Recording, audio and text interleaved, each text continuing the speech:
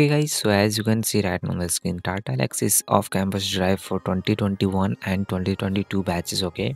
And required qualifications are B, Tech, ME, Tech, MC, MSc and MCA can apply for this opportunity and job location they have mentioned Bangalore, Trivandrum, Chennai, Hyderabad and Pune, okay?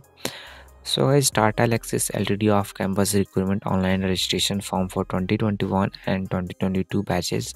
Okay, and job location they have mentioned Bangalore, Trivandrum, Chennai, Hyderabad and Pune. Okay, and batches eligible are 2021 and 2022 batch student only. Okay, and qualifications B, BTech, ME, MTech, MS, MCA, MSU, and with no backlogs and no more than one year of gap in education. Okay, and minimum 60 percent or 6 CGP in your 10th 12th okay? And branches eligible are computer science double E triple E okay? So here many branches are eligible for this opportunity. So before applying once check out all these branches eligible okay? And only those who have not taken the Tata Elxsi test or gone through the interview process in the last six months and meet the above requirement need to apply okay? So if you have applied in last six months so ignore this opportunity okay? Okay guys so how to apply for this opportunity? So simply scroll down from here okay? So after that you find this form okay so first you have to select your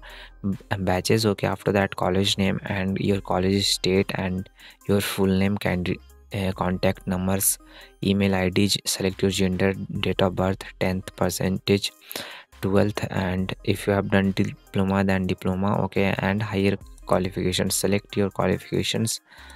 Like UG you have selected then after that select your branches okay B BTech or whatever okay after that simply UG percentage and backlogs in UG if you have and primary programming languages okay and okay, uh, any offer in hand if you have also know okay and communication post address okay fill your address and simply click on submit and apply for this opportunity okay so guys simply apply for this opportunity after filling this form. If you face any problem you can do comments and you can directly contact us on instagram.